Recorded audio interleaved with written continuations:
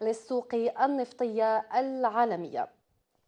وللتعليق ومناقشة هذا الملف الحدث الطاقوي الذي تحتضنه الجزائر ابتداء من اليوم معنا آه، عبر سكايب وزير الطاقة السابق السيد شكيب خليل مباشرة من واشنطن بالولايات المتحدة الأمريكية للحديث أكثر عن هذا الحدث البارز والأهم الذي تحتضنه الجزائر. نرحب بك آه، معالي الوزير سيد شكيب. الطبيب آه، خليل أهلا بك معنا. على المباشر شكرا. أهلا. إذا آه، كسؤال أولي بحكم تجربتك آه، الطويلة في السوق النفطية ما هو توقعك الشخصي لنتائج اجتماع الجزائر؟ خاصة أن وزير الطاقة نور الدين بوطرفة كان قد أكد عشية هذا المنتدى أن الهدف الأساسي للاجتماع هو الاستقرار في أسعار النفط. تفضل. أيوه آه، السوق الآن يعني آه، فيه عرض أكثر من من الطلب وغير متوازن ولهذا تشوف الأسعار يعني في المستوى 48 إلى 50 دولار. ولهذا آه، اجتماع الجزائر اجتماع مهم بالنسبة للأسعار في الأشهر القادمة وباستقرار السوق من بعد. الآن المشاكل فيها مشاكل ما بين أعضاء يعني المنظمة وبين الأعضاء المنظمة وخارج عن المنظمة. ولهذا أنا كثير متفائل بأن ينجح اجتماع الجزائر على الأقل لتجميد لتجميد الإنتاج ديال الدول الكبرى. كما السعودية وكما العراق وإيران و وروسيا لأن هذا يعطي تأشيرة للسوق وسترتفع الأسعار بحوالي دولار أو دولارين ولكن هذا مهم لأنه هو يكون أساس آه، لزيادة الأسعار في الأشهر القادمة والسنة القادمة. هذا هو المهم. وأظن آه، هذا سيجري لسببين. السبب الأول هو أن المنتجين الكبار آه، توصلوا إلى أعلى مستوى ممكن آه، في الإنتاج ديالهم. ما فيها السعودية وروسيا وحتى المنتجين الأمريكيين. وثانيا لأن توصلوا إلى أكبر حصة اللي عندهم للأسواق العالمية ولهذا ما عندهمش أي آه، فائدة لزيادة في الإنتاج وربح آه، حصص أكثر من ما توجد الآن آه، عندهم في في الأسواق. ولهذا نظن هذا كثير إيجابي وإن شاء الله يكون يكون مش الاجتماع ناجح اليوم الأربعاء. إن شاء الله.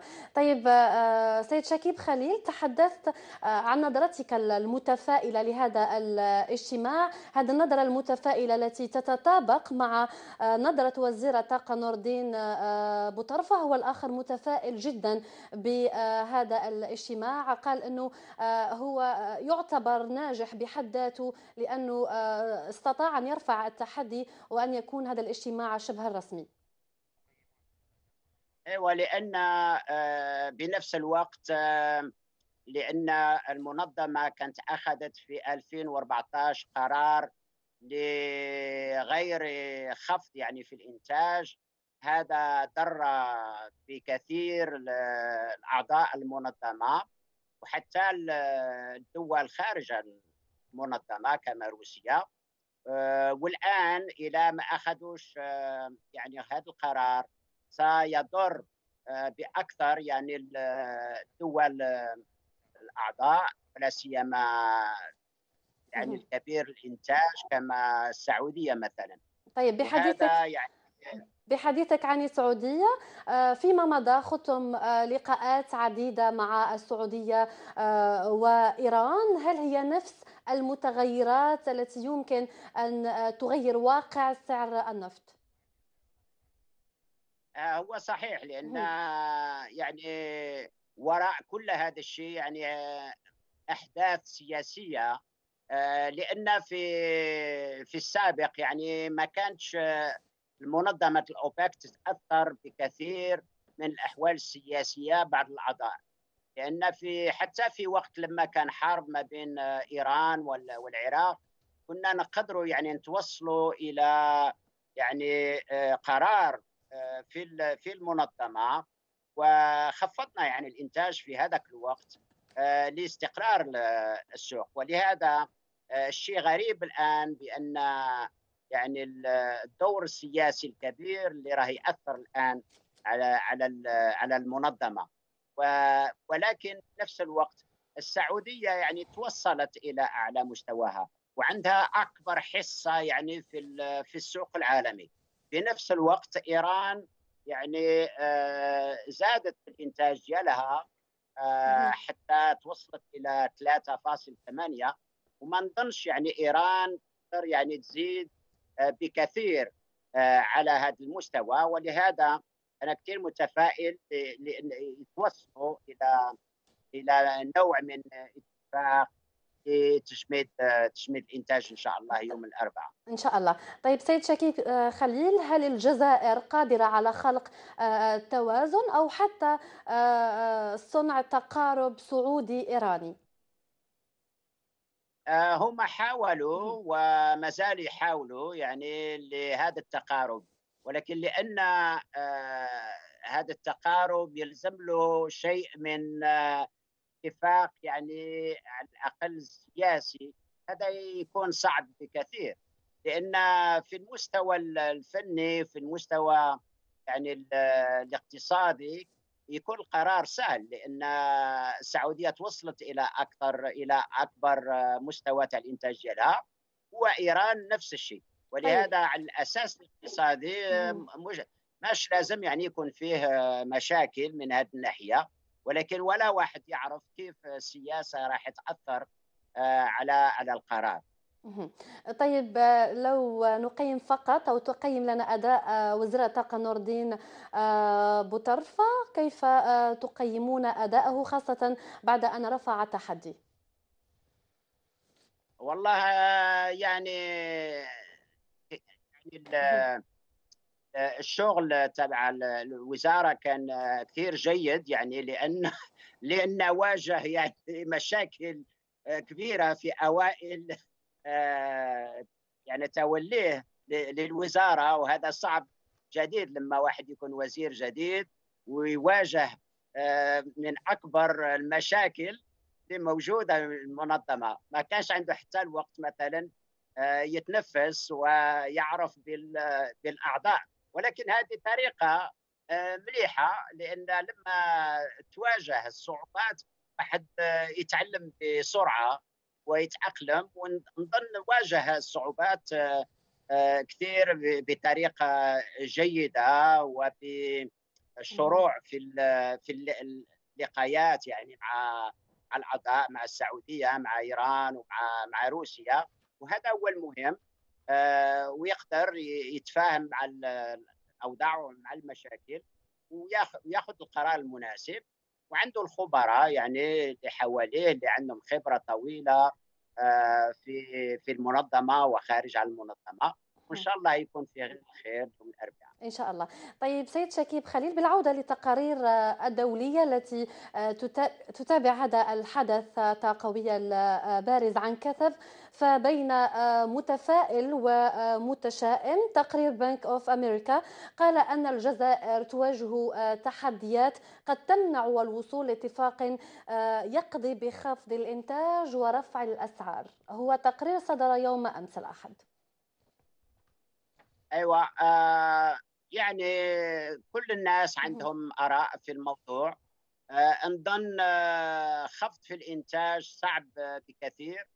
آه لأن من الناحيه السياسيه آه خفض في الإنتاج الآن يكون صعب. لأن كل واحد يعني يبقى آه بمجرد يكون عنده إمكانيات من بعد باش يساوم و آه، يعني في المستقبل ولا سيما بعد توازن السوق. ولكن تجميد تجميد الإنتاج ما يكلف أي عضو أي شيء الآن وهذا هو أسهل شيء من الناحيه الاقتصادية يكون يكون إيجابي. من الناحيه السياسيه ما يكلف كثير. ولهذا هذا ممكن. ولكن تجميد نظن سيأخذ وقت. ياخذ وقت لدراسة السوق ولا سيما فيه إنتاج متزايد من طرف دول أخرى ولا سيما الكازاخستان و وليبيا. سترجع إلى السوق.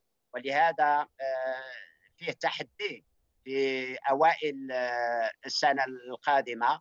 ونظن يكون فيه يكون فيه اتفاق ولكن يمكن في اجتماع جوان 2017 آه، في في فيينا في آه، في في المنظمة إن شاء الله.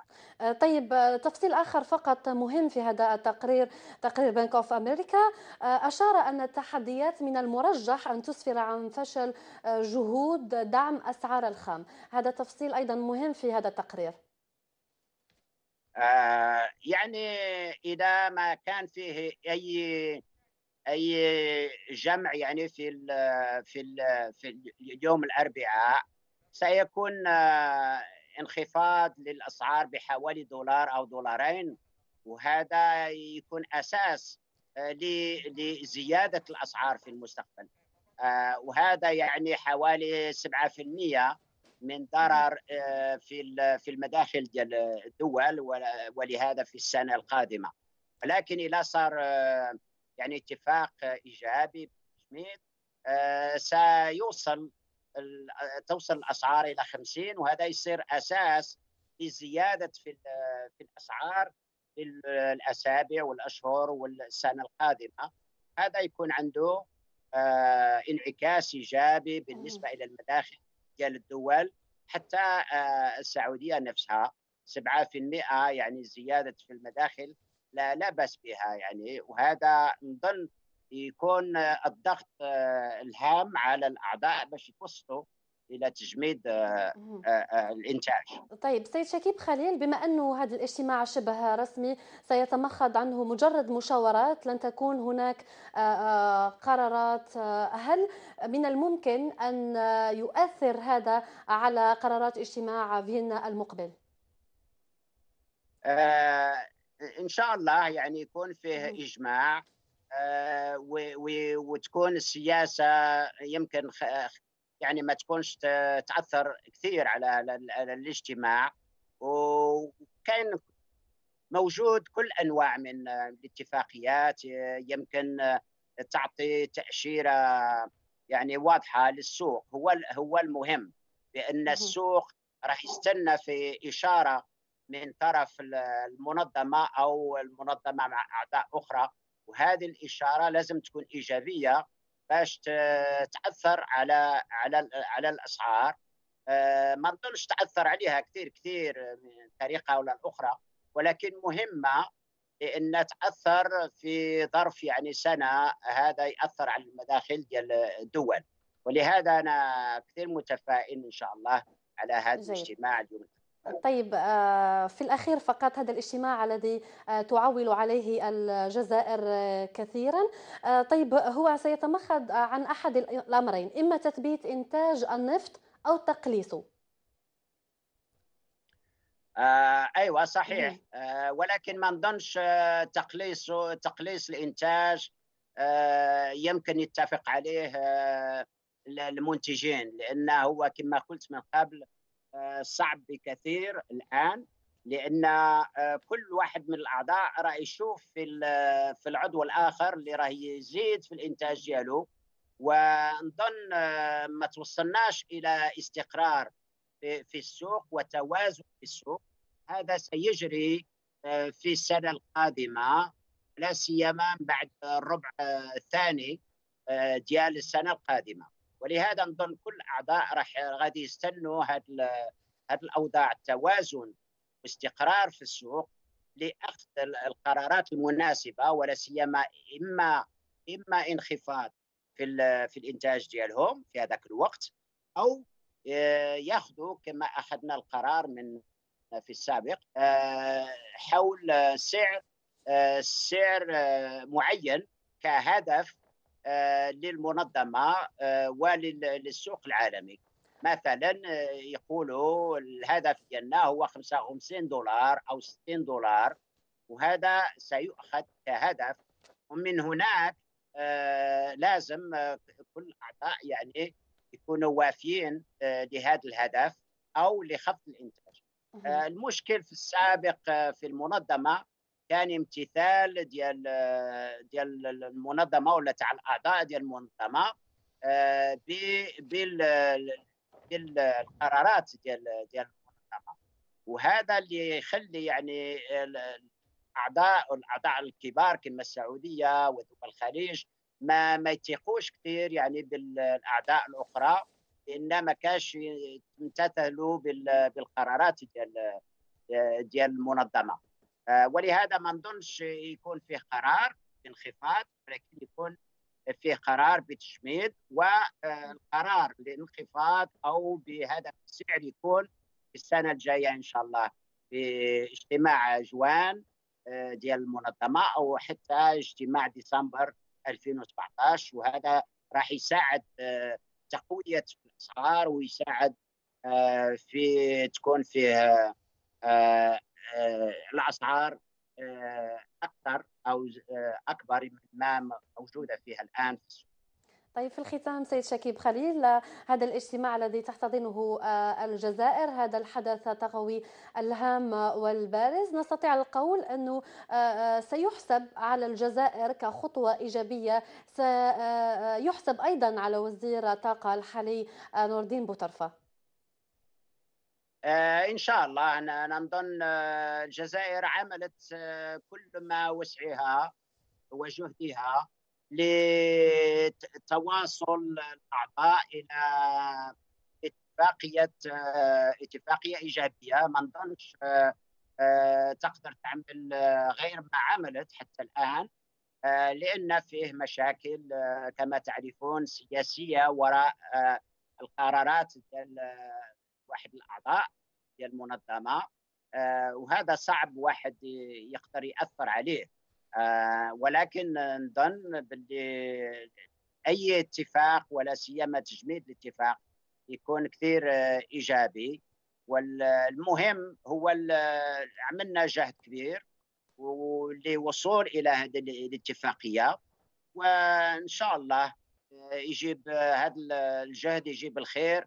في المستقبل ونظن يكون فيه خير للمنظمة وللأسعار في 2017 على أي حال. إن شاء الله. أخيرا فقط بقى سؤال فقط واضح. واحد هل من الممكن أن يتحول هذا الاجتماع شبه رسمي؟ هل من الممكن أن يتحول إلى اجتماع رسمي وستتمخض عنه مجموعة من القرارات الهامة والبارزة؟ التي أكيد ستخدم الجزائر خاصة مع حضور كل الفاعلين. آه نظن أي شيء يعني يقدر يقرروه آه نظن لازم يعطوا إشارة للسوق الآن. هذه الإشارة تكون إيجابية بأن آه إما توصلوا إلى تجميد أو قريب قادرين يتوصلوا إلى تجميد على الأقل باش يعطوا إشارة إيجابية. لأن أي إشارة غير هذه التجميد مثلا لأن الخفض صعب كثير. هذا راه يعطي إشارة يعني ماشي إيجابية للسوق. وثانيا يقدروا يعني يجتمعوا يجتمعوا أي وقت من بعد في اجتماع غير عادي. ولكن نظن سيكون صعب هذا هذا الاجتماع ولو من بعد. يعطي يعطي يعني قرار إيجابي لأن قريب قريب كل الاعضاء راح قد يستنوا بتوازن بالتوازن في السوق. هذا ما نوصل إليه إلا من بعد ست شهور أو أكثر. ولهذا أنا أكثر متفائل ولكن سيأخذ وقت لتواصل توازن ولزيادة في الأسعار. باش نوصلوا إلى 60 دولار في أواخر 2017 ومن بعد ذلك تكون فيه زيادة أكثر كل سنة إن شاء الله لأن الطلب الطلب في الناس ينساوه كثير هو إن الطلب للبترول راه يزداد كل سنة بمليون إلى مليون ونص آه هذه السنة بمليون و ألف آه ولهذا هذا راح يساعد كثير باستقرار وتوازن السوق ولهذا الوقت عنده أهمية في القرارات وواحد ياخذ الوقت المناسب باش نساعد السوق آه، نتوصلوا إليه إلى أسعار آه، إيجابية إن شاء الله في المستقبل. نشكرك كثيرا آه، معالي الوزير السيد شكيب خليل وزير الطاقة السابق. كنت معنا مباشرة من واشنطن بالولايات المتحدة الأمريكية. شكرا جزيلا لك على هذا التدخل وعلى كل هذه التوضيحات.